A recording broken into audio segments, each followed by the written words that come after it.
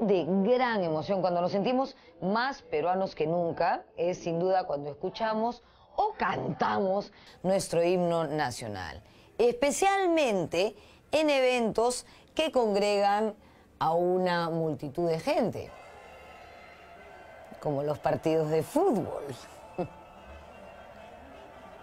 Eso nos enorgullece y nos hace sentir parte de una nación.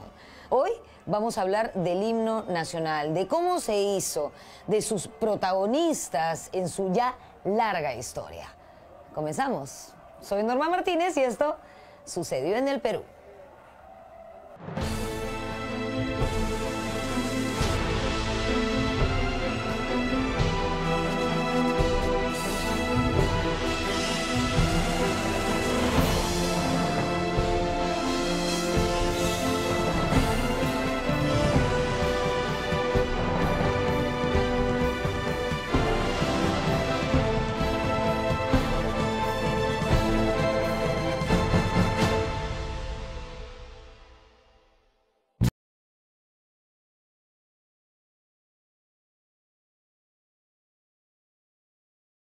De las muchas cosas buenas que nos dejó nuestra clasificación al Mundial de Rusia, una de las más importantes es ese inflamado sentimiento de identidad nacional que hoy hemos reforzado. Y eso ha repercutido en el rescate de nuestros principales símbolos patrios. Hoy, por ejemplo, lucimos con renovado orgullo una camiseta con nuestra bandera, o con nuestro escudo y cantamos con mayor emoción las estrofas de nuestro himno nacional. Es increíble lo que un logro deportivo puede hacer por un país. Mucho más que una política, una ley o una resolución emanada desde el aparato estatal. El nuestro es un himno que puede haber tenido una vida azarosa, ha sufrido variaciones, pero por encima de todo, es una bellísima composición.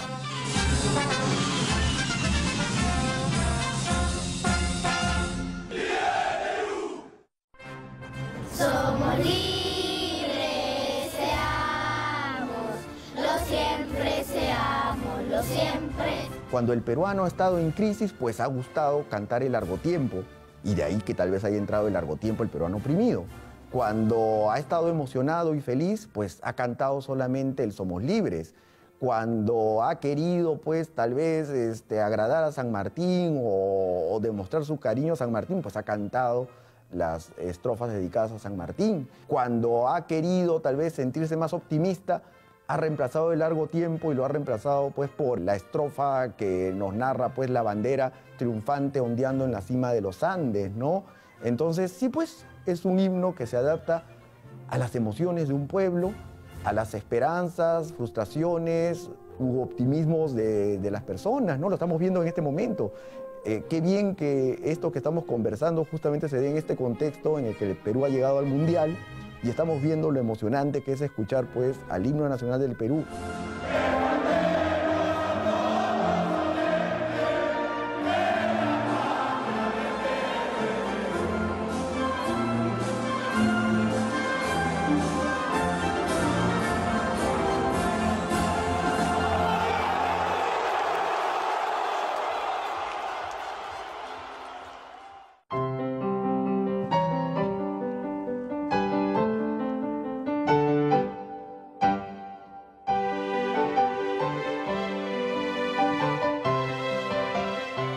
Cuando las fuerzas de San Martín llegaron a Lima, las clases populares de la ciudad cantaban varias canciones de carácter guerrero y festivo. Una de las más populares se llamaba La Chicha, con letra de José de la Torrugarte y música de José Bernardo Alcedo. Sí, el mismo dúo que luego compondría el himno nacional. El coro de la canción decía algo así como Patriotas, el mate de Chicha y Enat y alegres brindemos por la libertad. Evidentemente era una canción con música y letra pegajosa, ¿no es cierto? Una canción popular que celebraba nuestra comida y nuestras bebidas en desmedro de las bebidas europeas, como el vino y también de las comidas foráneas. Para el historiador Antonio Zapata, los autores de la chicha buscaban integrar las costumbres andinas con la República Criolla que se estaba fundando.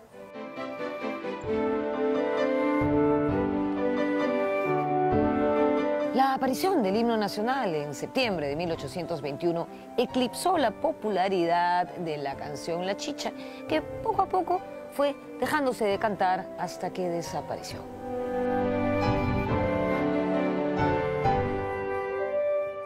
La Chicha, con letra de Torre Duarte y música de Alcedo, es una obra de unos meses antes de la independencia, es una canzoneta al estilo italiano de la época, en donde no solamente se pide alzar el mate de chicha, sino también viene una pasarela de los platos típicos. Ya se menciona el ceviche, se mencionan otros platos que le encanta mucho en general al, peruano de a pie hablar mucho más de comida que de otras cosas. Ahí está presente ya la, la comida de la época.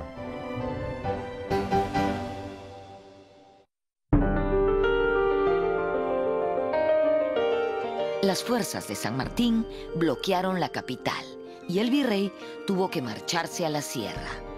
Lima era una ciudad en crisis donde reinaba el hambre, la peste, la incertidumbre. Es una ciudad que está sitiada, es una ciudad con peste, es una ciudad en la que la gente está fugando, es una ciudad en que los españoles, los criollos, están muy asustados por lo que está pasando. Recordemos que es una fuerza militar tremenda la que ha llegado a la ciudad con San Martín. No era una ciudad eh, que estaba lista para, para las artes propiamente dichas, ¿no? San Martín proclamó la independencia y se declaró protector del Perú. Sus esfuerzos los dedicó principalmente a persuadir a la población de la idea de la independencia y para ello los símbolos eran muy importantes. Pero aún así, en esa época de incertidumbre, San Martín está muy preocupado en crear los símbolos, ¿no? Eh, quiere, quiere que la gente se dé cuenta que, que hay símbolos nuevos para que ese pueblo que recién está diciendo que quiere ser libre lo haga de una manera eh, que se pueda ver, ¿no? Eh, eh, en verdad su preocupación por crear un estandarte, una bandera. Era necesario que las tropas peruanas tuvieran una marcha nacional propia, que las distinga de las fuerzas argentinas o chilenas. Con tal objetivo, el 7 de agosto de 1821, San Martín convocó a un concurso de compositores y poetas para establecer la Marcha Nacional del Perú.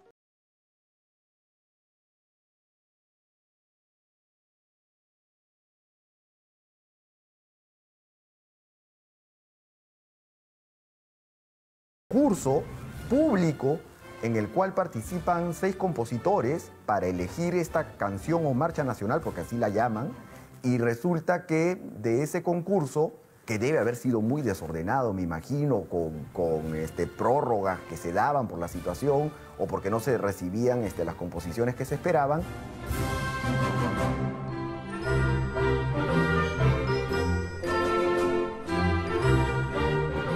El 17 de septiembre fueron ejecutadas las siete piezas compuestas para el certamen. La ejecución musical fue hecha en el clave, instrumento musical semejante a los pianos de media cola. La obra tenía la música del maestro Bernardo Alcedo y la letra de José de la Torre Ugarte. Todos los estudiosos parecen indicar que San Martín escoge el himno, lo que sería el himno nacional del Perú, por tenerlo como tal vez el más aceptable de todos los que se habían presentado, ¿no? Yo creo que lo escogió porque era el de mejor factura, porque Alcedo ya era un compositor adulto, en el sentido de que ya está en la treintena,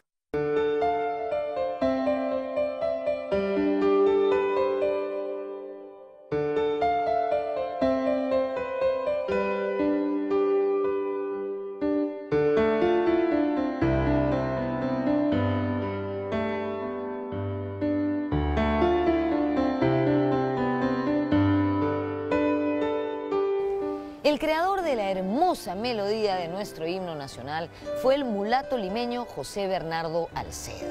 Él cultivó desde muy joven su gusto musical, iniciándose bajo la dirección de Fray Cipriano Aguilar y Fray Pascual Nieves, maestros de la capilla del convento de San Agustín y Santo Domingo respectivamente. En este momento estoy en el frontis de la iglesia de San Agustín, sin duda uno de los más hermosos del centro de Lima.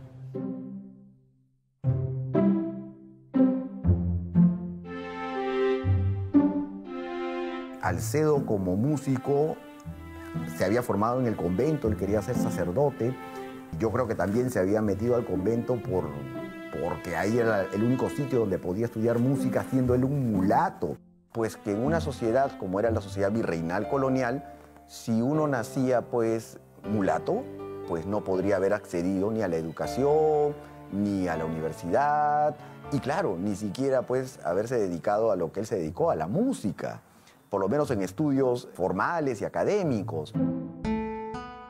Él es hijo de un cirujano, de un médico famoso, pero de una negra liberta, de tal manera que él podría decir que es un mulato o un negro liberto, no, no, no, es esclavo.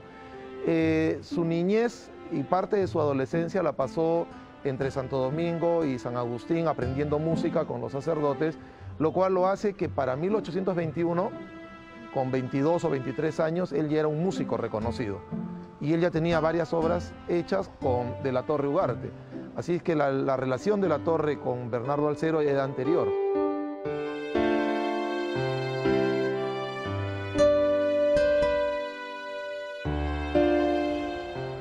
Salcedo vistió el hábito agustino y estuvo a cargo del coro de niños de esa orden religiosa. Allí se volvió un experimentado músico y compositor. Más tarde se unió a la causa emancipadora. Así, en 1821, en dupla con el poeta José de la Torre Ugarte, se presentó al concurso por la Marcha Nacional, que había sido convocado por el gobierno del protector del Perú, don José de San Martín. El resto, ya lo saben, ellos ganaron el concurso.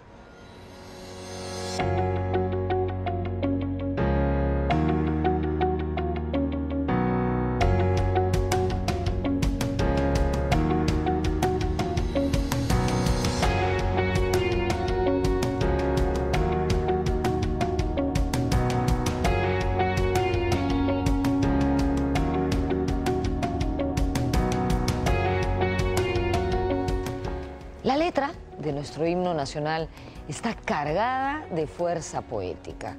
Su autor, José de la Torre Ugarte, nació en Ica en 1786 y de muy joven se trasladó a Lima, la capital del entonces virreinato del Perú, para estudiar en la Universidad de San Marcos, donde se graduó como abogado en 1812.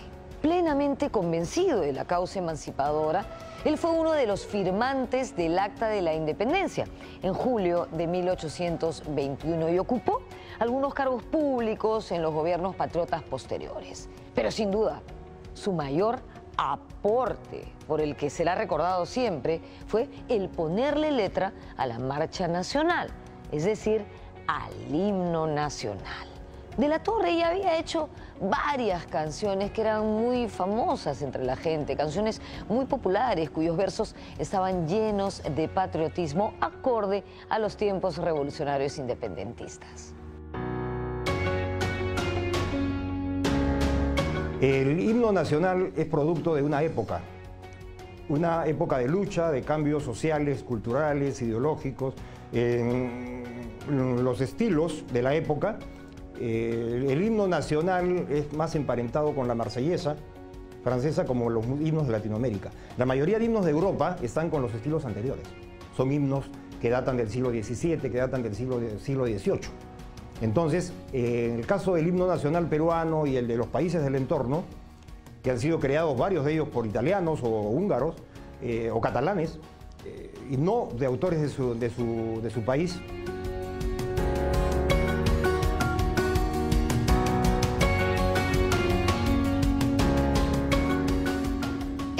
en el cementerio Presbítero Maestro y hemos llegado hasta aquí para visitar un casi olvidado y discretísimo nicho.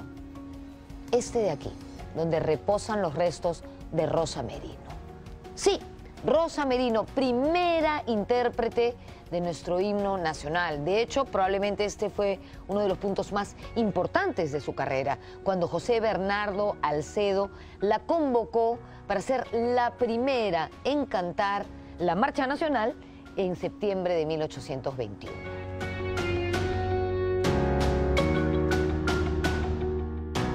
antes de interpretar el himno en 1821, en el año 1812 ella actuó con la compañía lírica de Andrés Bolognesi. ¿Qué? Sí, Andrés Bolognesi, el papá de Francisco Bolognesi, nuestro héroe del último cartucho.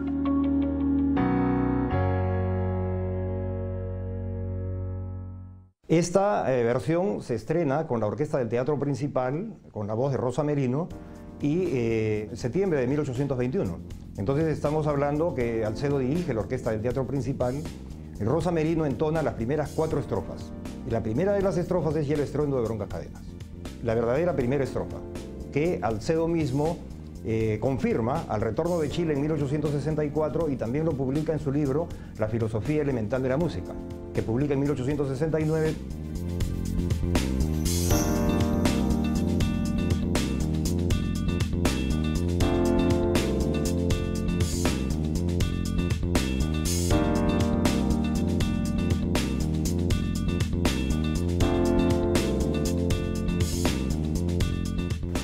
en el Teatro Segura, que como pueden ver está en pleno proceso de restauración. Por eso tengo puesto casco, porque hay que respetar las medidas de seguridad en las construcciones. En fin, ¿por qué estoy aquí? Porque en este lugar se interpretó por primera vez el himno nacional. ¿Cómo ocurrió esto? Después de proclamada la independencia, José de San Martín convocó a un concurso público para elegir la marcha nacional. Se dice que se presentaron siete canciones hasta antes de la fecha de cierre de este concurso, que era el 18 de septiembre de ese mismo año, 1821. Una comisión estuvo encargada de elegir a la canción ganadora. José de San Martín formaba parte de esta comisión y se dice que cuando escuchó la marcha de Bernardo Alcedo y José de la Torre Ugarte, dijo, sin disputa, este es el himno nacional.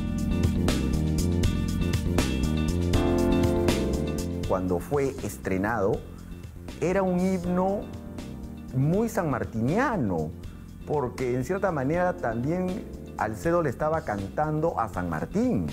Entonces yo creo que por eso la, primera versión en letra del himno nacional no tuvo tanto éxito, porque cuando se va a San Martín, como que esa letra pues pierde vigencia. Después viene Bolívar y a Bolívar no se le va a cantar pues un himno que recuerde la presencia de San Martín, ¿no? Cuando José Bernardo Alcedo lo compuso con la letra de José de la Torre Ugarte, lo hizo principalmente para Lima, porque Lima pues era la ciudad que había sido liberada, lo hizo en honor a los territorios liberados, que eran pues unos cuantos departamentos, las provincias libres del Perú, y lo hizo este, en cierta manera también como un homenaje a San Martín.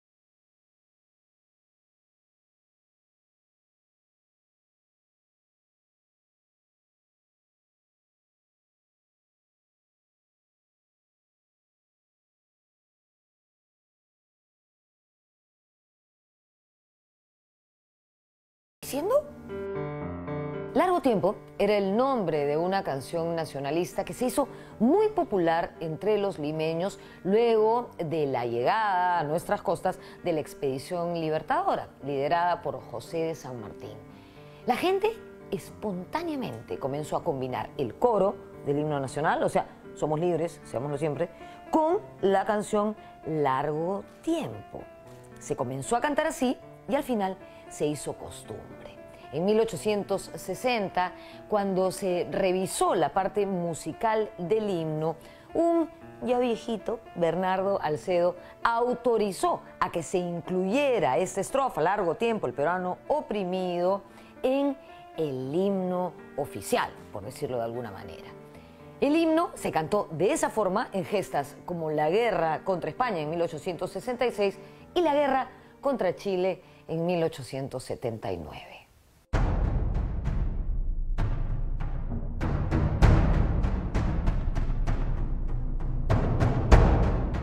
Es una canción popular que se fue adaptando porque lleva la misma cantidad de sílabas y cuadraba con la línea melódica de la obra, de, la obra original del himno nacional. Se fue agregando y tal es así que el Estado lo fue aceptando.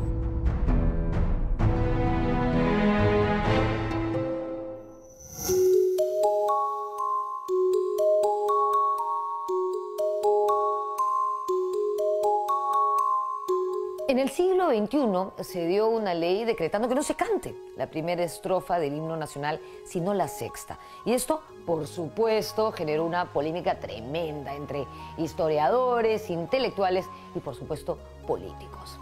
Yo, en ese momento, tengo la suerte, una vez más, de estar en nuestra segunda casa, el Museo Nacional de Arqueología, Antropología e Historia en Pueblo Libre. Y aquí hemos encontrado este documento de verdad que me, emociona verlo. Es una carta de Bernardo Alcedo a un amigo suyo donde se incluyen las estrofas originales del himno nacional.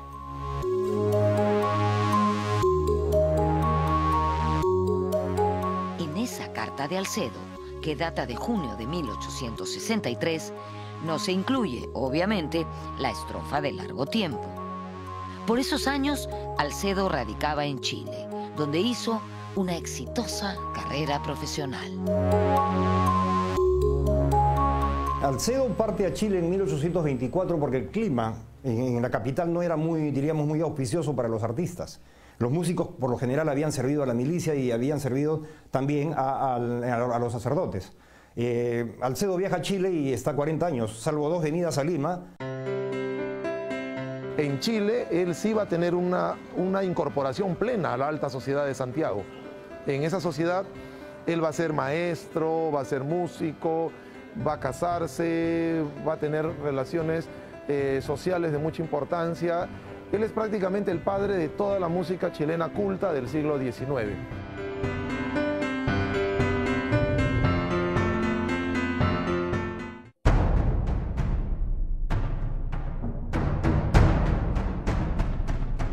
En medio del ambiente de guerra y de caos que se vivía en la capital, no se pudo conservar la partitura original del himno. Fue así que, a lo largo del siglo XIX, se realizaron varias interpretaciones de la Marcha Nacional a partir de la versión original. Cuando el himno fue tocado por primera vez en 1821, no quedó una versión oficial, no quedó una partitura ni manuscrita ni impresa, y en el interín la gente en el Perú sacaba arreglos propios del himno nacional, lo tocaba de memoria, había quedado en el imaginario popular. Era un momento bastante difícil, eh, las imprentas casi no producían y los músicos, la gran mayoría de los músicos eran lo que se denomina músicos de oído. Así es que Bernardo Alcedo, al momento de hacer las partituras del himno nacional, tenía un problema. ¿Cuántos sabían leer eso? De tal manera que en algún momento tuvo que musicalizarlo él con algunos amigos para poder enseñárselo a la mayoría de los músicos. Una de esas partituras, creadas a partir del himno original, la guarda el historiador Eduardo Torres Arancibia. Al parecer, esta versión data de la década de 1840 y lleva por nombre Marcha Patriótica para la Ciudad de Lima. Podría tratarse de la partitura más antigua que se conserva de nuestro himno nacional. Un colega mío eh, que sabía de mis aficiones musicales y del interés que tengo por la investigación musicológica me dijo, esta partitura te va a interesar. Entonces yo la recibí, la transcribí inmediatamente, la escuché y resultaba que se trataba de una versión del himno nacional. Entonces yo dije, bueno, debe ser una de las tantas versiones del himno que se dieron en el siglo XIX. La partitura que tiene Torres Arancibia puede ser la más antigua debido a varias razones. En primer lugar, no se llamaba Himno Nacional del Perú, se llamaba Marcha Patriótica para la ciudad de Lima. Era una partitura manuscrita, lo cual ya de por sí es muy importante, y eh, estaba compuesta para un instrumento viejo, un instrumento que se llama fortepiano, que es el antecesor del piano. Tuve la oportunidad de encontrarme con un musicólogo chileno que llegó a ver fotos de la partitura e inmediatamente se dio cuenta de una, de una cosa que yo jamás me hubiera dado cuenta, ¿no? Eh, el sello del papel, es decir, la marca del impresor del papel pentagramado. Y resulta que se trataba de una compañía inglesa, porque la partitura había llegado de Londres, y ocurre que esa compañía solamente había funcionado entre 1840 y 1845.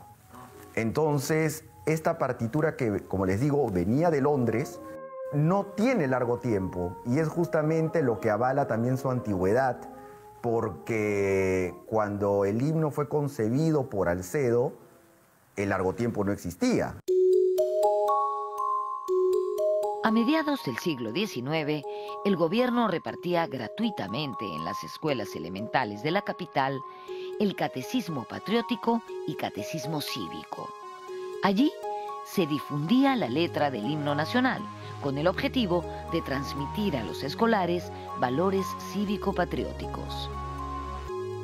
En 1864, el maestro Alcedo retornó al Perú y encontró toda esa serie de versiones surgidas a partir de su creación original. Al regresar al Perú, invitado por los gobiernos, es donde él encuentra este problema con su himno. Y es donde ahí él eh, entra en una suerte de, conflicto con algunos músicos por las versiones que se tocaban del himno. Músicos extranjeros, unos suecos, eh, algún italiano, este, sacaban arreglos eh, no autorizados por Alcedo y esos eran los que se tocaban, ¿no? Cuando regresa al Cedo encuentra este panorama, ¿no? Que su himno ha sido pues arreglado, tocado de diferente manera, impreso sin su permiso y, sin su autorización y él quiere poner orden. Entonces, él saca ya la que sería su versión oficial, que es la versión que ya se conoce y que ha sido interpretada, que es la versión de 1864. Cuando él retorna al Perú se encuentra con varias versiones del himno nacional. En tanto, Carl Johan Eklund, el director de la banda del ejército, eh, era quien había hecho la versión que se vendía impresa en Lima y Alcedo mismo le dice, esta no es la versión del himno nacional. Entonces, ¿pero cuál es, cuál es su versión? Alcedo pide unos días y crea otra introducción al himno nacional.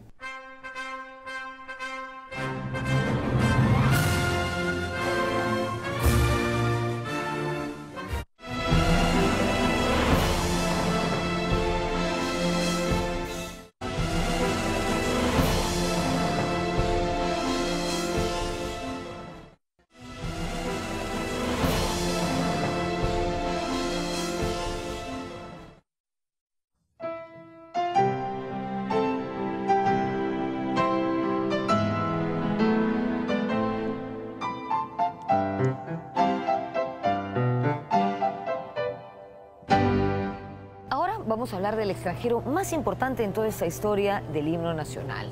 Me refiero a Claudio Rebagliati, un italiano, violinista, director de orquesta, compositor, que llegó a nuestro país en el año 1863, cuando solamente tenía 20 años y se quedó en el Perú durante toda su vida.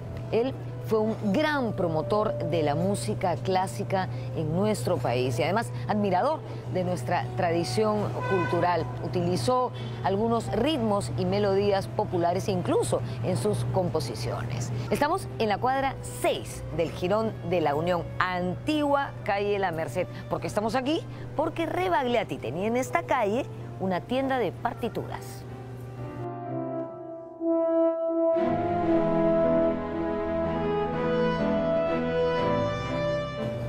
Hemos dicho, Rebagliati llegó al Perú en 1863 y al año siguiente, en 1864, José Bernardo Alcedo regresó a nuestro país luego de haber estado durante 40 años en Chile.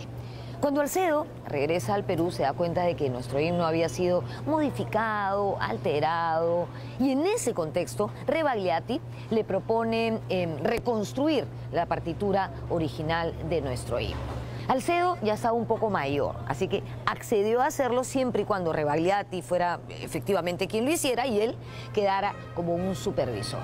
Fue así que se consiguió la versión oficial del himno, incluyendo la estrofa de largo tiempo, el himno que todos conocemos hoy. Esta versión, hecha por Alcedo y Rebagliati, data del año 1869.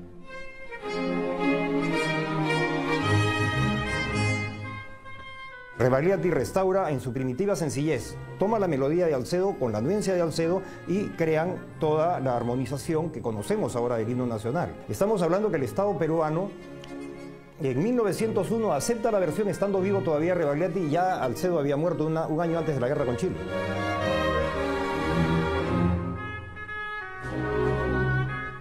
El himno nacional que hoy cantamos es un himno de alguna manera hecho a dos manos entre Bernardo Alcedo y con los aportes de Rebagliati y que tuvo que salir una ley en 1913 para oficializarlo. Si no, quizás tendríamos varias versiones de himno y cada quien tocaría la que más le agrada o la que más le acompasa. Porque en algún momento el himno en el siglo XIX tuvo hasta notas festivas, mientras que en la actualidad es bastante eh, marcial, ¿no? bastante cuadriculado, por decirlo de alguna manera. Y entre ambos hicieron una suerte de himno que calzara un poquito más con las vivencias del siglo XIX y no tanto con la independencia.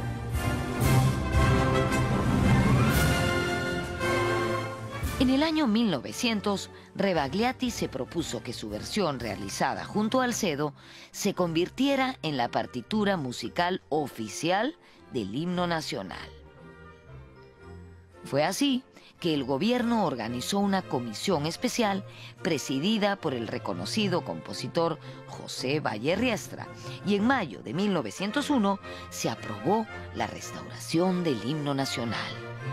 Un mes después, esta remozada versión se estrenó en el Teatro Politeama, en una ceremonia en homenaje a Francisco Bolognesi.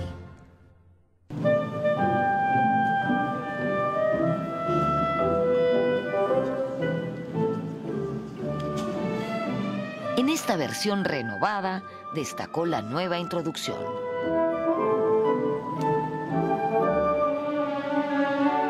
La versión que hace Alcedo con Rebagliati en 1869 se acerca más a la rapsodia peruana, que tiene una, introducción corta, balanzante, de unos, de unos cuantos, eh, diríamos casi ni, siquiera un compás completo.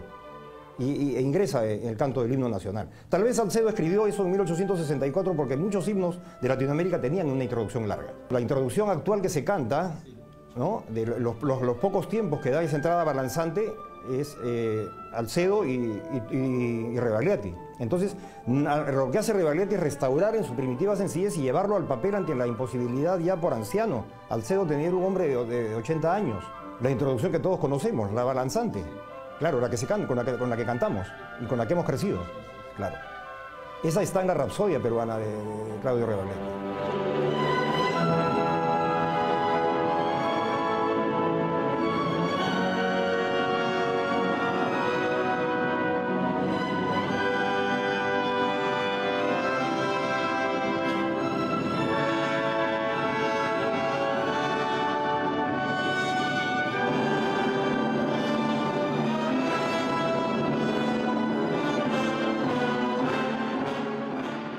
También en 1901 se convocó a un concurso para renovar la letra del himno por considerarla en parte anti-hispana. Los versos escogidos, escritos por el poeta José Santos Chocano, no calaron en el gusto popular. El 25 de octubre de 1912 fue aprobada por el Congreso la Ley de Intangibilidad de los Versos y la partitura del himno nacional de 1821. El himno aprobado contenía la estrofa del largo tiempo. Además, anulaba la quinta estrofa porque consideraba sus versos muy ofensivos a España. El himno que actualmente cantamos es el oficial, el que se oficializó con las leyes de Billinghurst de 1913, para poder dar fin a todo un debate anterior de casi 80 años en el siglo XIX por cuál era la versión del himno que podría decirse la original, entre comillas. El actual himno que cantamos es una suerte de un 95 o 90% de lo que hizo Bernardo Alcedo en 1821, pero también ahí hay algunos acompasamientos que, que incluyó Claudio Rebagliati. A fines del siglo XIX se realizó el más antiguo registro fonográfico de nuestro himno nacional. Se grabó en Nueva York por el sello alemán Berliner. La voz fue del tenor italiano Arturo Adamini, que cantó acompañado de un piano.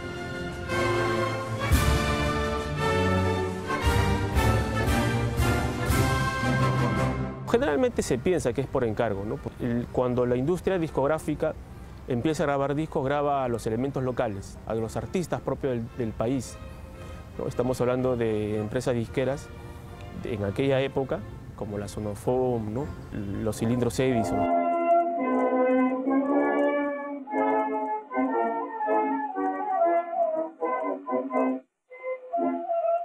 En 1904 se realizaron dos importantes grabaciones más de nuestro himno nacional. En 1904, eh, por primera vez una banda latina, por decir así, grabó nuestro himno. La banda municipal de La Habana grabó en Cuba los primeros discos grabados en Cuba para el sello Sonofone. Grabó, muchas, este, muchos himnos y mucha música foránea. ¿no? Había una banda de estudio de la Victor, que era una, empresa grande de música. Eh, la banda se llamaba la Prior Band. La Prior Band era una banda de estudio que grababa todo género, grababa valses, danzones, eh, corrido mexicano. ¿no? Entonces, con el objetivo de vender a, los diversos países sus discos. Entonces ellos grabaron nuestro himno nacional con el título de eh, Aires Nacionales Peruanos.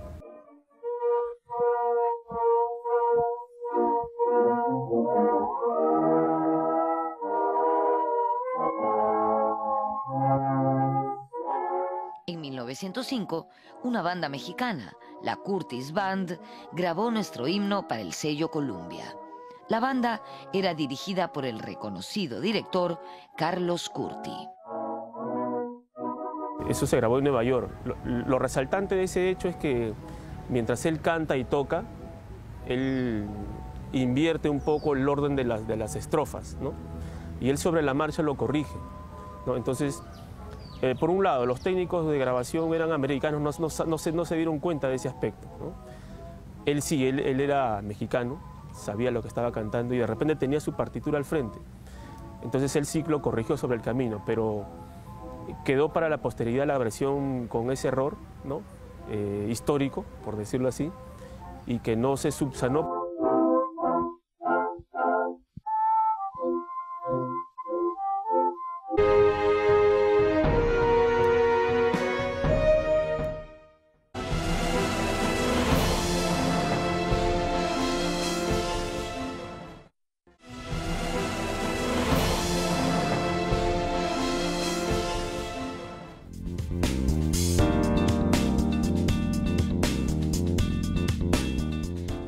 1911 vinieron al Perú integrantes del sello discográfico Columbia con el objetivo de reclutar artistas locales y grabar discos. La Columbia alquiló espacio, digamos, un local, un departamento, un sitio donde podía montar un primitivo estudio de grabación y, llevaron a grabar bandas. Eh, la, banda que le tocó grabar nuestro himno nacional fue la banda de la artillería de montaña. Ellos grabaron solamente ese disco. Entonces eso fue nuestro primer himno grabado por peruanos, digamos. Poco después llegó la competencia de la Columbia, es decir, la RCA Víctor, y se grabó el himno nacional a cargo de la banda de la Escuela Correccional de Lima. Por primera vez la Víctor grabó nuestro himno con músicos peruanos y sobre todo niños. Es una versión, hay efectos de la época, tanto del disco como de músicos no profesionales como son los niños. Un poco desafinado pero muy acoplado.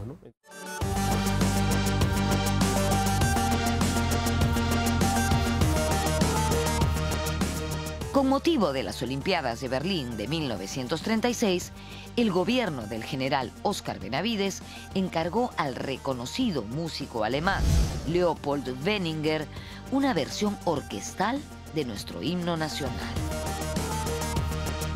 Porque cuando Revaliati presenta en 1901, deja tres versiones. Eh, diríamos la de banda, con instrumentos de viento y percusión. La de orquesta sinfónica, cuerda, viento percusión, en la parte del canto. Y, la parte, digamos, la versión de, piano y canto, estas tres las archivan en diferentes dependencias del Estado. Lo que posteriormente hace Benninger, Leopold Benninger, ah, escribe la versión tomando la versión de banda para orquesta sinfónica, pero sin cambiarle una, una, nota, sin cambiarle notas. La versión de Benninger se acoge a la versión original, lo que cambia es el timbre. O sea, no están los saxofones del tiempo de la partitura original de Revaliati, pero, pero sí están los timbales, están otros instrumentos. Entonces no cambia en esencia la obra. No cambia en esencia la obra como para decir que es otra obra, no es otra obra.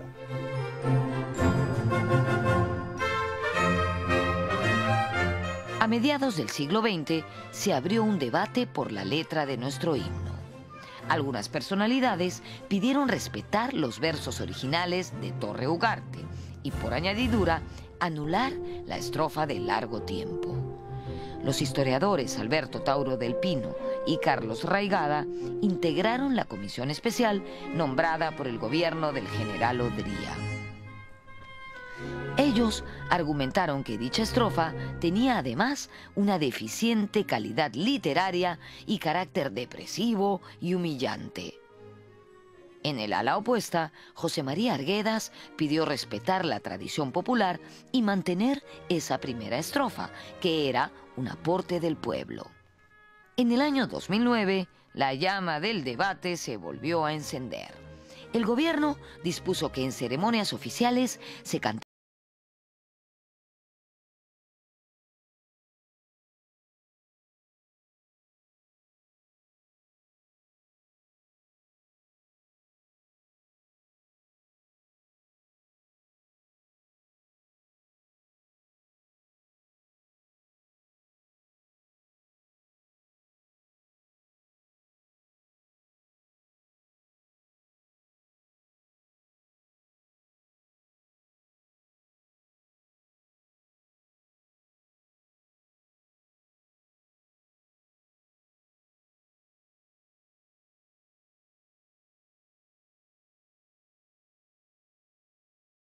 porque la melodía sí de que todos tararíamos es igual desde 1821 hasta ahora y en todas las versiones, que se escucha en todas partes del mundo, en Europa, en Rusia, y que la gente pues lo, lo sienta con emoción. Yo creo que ese es el mejor homenaje que se le puede hacer al Cedo. Creo que ahí está garantizada la inmortalidad de Alcedo, que sufrió mucho por su condición social, por cómo trata el país a los músicos, eh, etcétera, etcétera, y que se vuelve a confirmar lo que no se ha dicho en voz alta, que José Bernardo Alcedo es el primer músico nacional.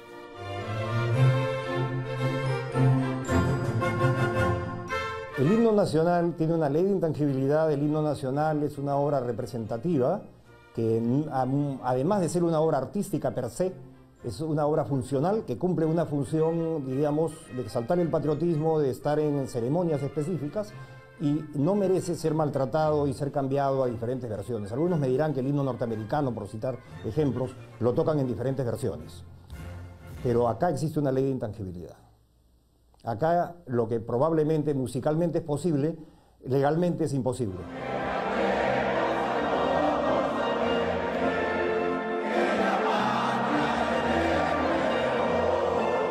El himno usualmente en el Perú es cantado en los colegios, en las fiestas patrias, en las actividades oficiales y en el Estadio Nacional. Y en el Estadio Nacional como que el himno es un grito de guerra. Si se tocara el himno en la vía pública, serían muy pocos los que se parasen a cantarlo o, o respetar la bandera, seguirían caminando. Pero en el estadio como que la cosa se transforma y se convierte quizás en, ese, en esa canción de guerra que significaba para las tropas durante la independencia. ¿no? Parece que el estadio ha reemplazado estos espacios ¿no? de, de- lucha por la independencia.